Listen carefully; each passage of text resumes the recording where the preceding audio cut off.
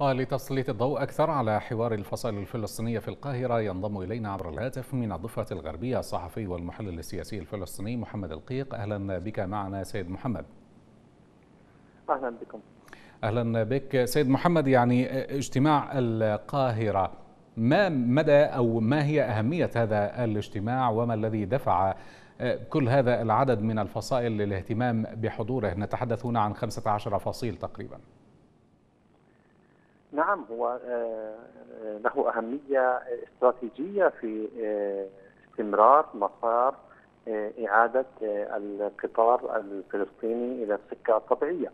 لذلك الترتيبات التي تقوم بها الفصائل في القاهرة والتي دائما في السياسة يقال بأن الشيطان يكمن في التفاصيل. هذه الترتيبات تطرد الشيطان من كل تفصيل حتى لا تقع هذه الفصائل في الأيام والأسابيع والأشهر القادمة في تعقيدات كان من الممكن ومن الواجب أن يتم تجاوزها خلال هذه الأيام، ولذلك هذه الاجتماعات لم تأتي مفاجئة بل هي مرتبة ومنسقة بحيث يتم الإعداد والترتيب لكل تفصيلات الذهاب للانتخابات التشريعية بكل المقتضيات بكل القوانين والمراسيم والاستثناءات والجغرافيا والقوائم وكل هذه التفاصيل وجب أن يتم الحديث فيها والاتفاق فيها وإبراز الاتفاق كي يرفع للجنة المركزية للانتخابات ليتسنى توطين وتوضيب كل الإجراءات القانونية ضمن الاتفاق الفلسطيني الموحد، هذا يدفع إلى مزيد من الثقة في الشارع الفلسطيني بملف الانتخابات القادم خاصة أن الثقة في الشارع الفلسطيني بالانتخابات كانت شبه معدومة نظرا للممارسات. الاحتلال أولا وفي الدرجة الأولى تحديدا في القدس والضفة الغربية وثانيا نظرا لعدم جدية جولات المصالحة التي عقدت على مدار عقد ونصف من الزمن من هذا التوقيت. وبالتالي هذه المرة كل تطور في هذه الاجتماعات يزيد الثقة الشعبية والمؤسساتية وحتى الدولية في الانتخابات القادمة. نعم. من جهتها اقترحت حركة حماس أن تكون الانتخابات توافقية. سؤال هنا هل تتوقع قبول الفصائل الأخرى وعلى رأسها فتح طبعا بخوض الانتخابات بقائمة واحدة أو موحدة عفوا؟ القائمة الموحدة أعتقد أنها ستكون صعبة على حركة فتح وكذلك على حركة حماس بالإضافة إلى أنها ستكون غير مقبولة للشارع الفلسطيني الذي يرى بأنه يذهب للتغيير لا للتطوير. وهنا التطوير المقصود فيها تطوير فقط السلطة الحاكمة في الضفة الغربية والسلطة الحاكمة في قطاع غزة هو لا يريد تطوير لهذه السلطة هو يريد تغيير لكي يكون رأيه هو الذي يحكم في الصندوق كي يتم إبراز حكومة ذات تطلعات شعبية وذات قرار وذات صوت من الجماهير. لذلك القائمة الموحدة هي تخفي فساد الحكومة وفساد السلطة وتخفي أيضا في زواياها تفاصيل قادمة قد تكون سببا في إعادة الانقسام من جديد ما بين الفاصلين الكبيرين حماس وفتح لذلك أكثر جرأة وأكثر واقعية هو الذهاب بكل قائمة بكل فصيل ليكون الشارع ويرى الشارع ما الذي يريد أن ينتخبه، ما الذي يريد أن يقرره، وهذا سيكون أفضل للشارع تجنبا للمجاملات الفصائلية على حساب الدستور والقانون.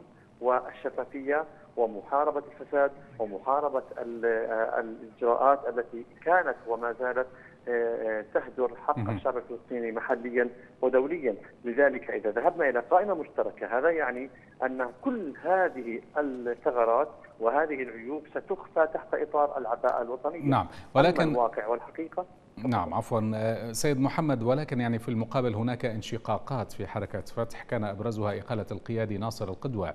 هل يمكن لحركة هكذا يقول البعض هل يمكن لحركة تعاني من انشقاقات أن تشكل قائمة مشتركة مع باقي الفصائل؟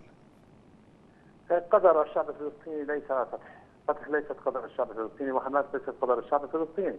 إذا أردنا أن نتحدث باللغة الديمقراطية التي تتحدث بها الدول انظر حتى إلى كيان الاحتلال وهو العدو الذي خرجت فيه فصائل متنوعة وجديدة على الساحة وطورت. أنا أتحدث الآن عن أن حماس جاهزة للانتخابات. فتح أيضا تقول أنها جاهزة للانتخابات.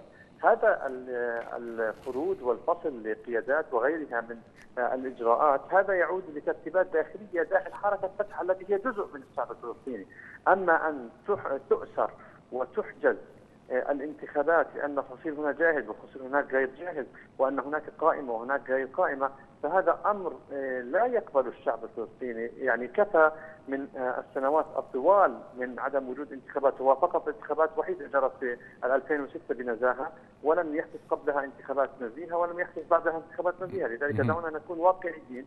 إذا أراد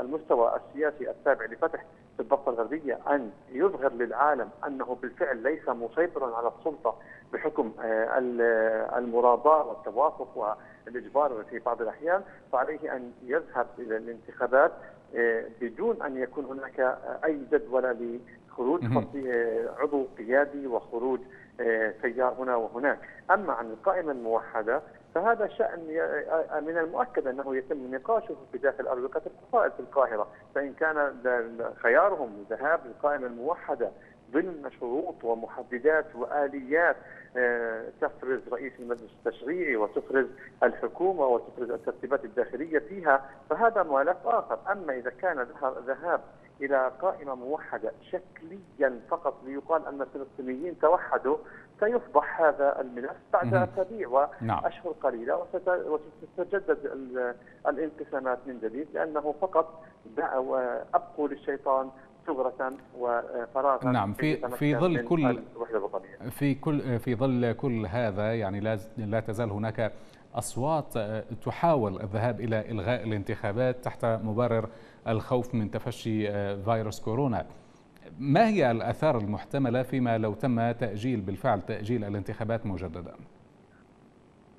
في كل دول العالم تقريبا الانتخابات تجري ولا يوجد أي خلل وهناك آلية التباعد موجودة في الانتخابات التي جرت في أكثر من 14 دولة في العالم من ضمنها أمريكا وحدث فيها الانتخابات لكن أن تكون كورونا مبررا لتأجيل الانتخابات إلى متى؟